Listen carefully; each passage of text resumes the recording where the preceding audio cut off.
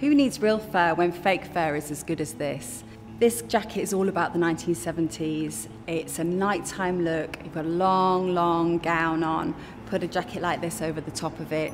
Think about Bianca Jagger, think about Jerry Hall going to Studio 54. It's about being glamorous, it's about looking and feeling fabulous. Uh, what I love about this is the little pocket detail it's got here. Um, keeps your hands warm as well as your body. It's an absolutely beautiful coat.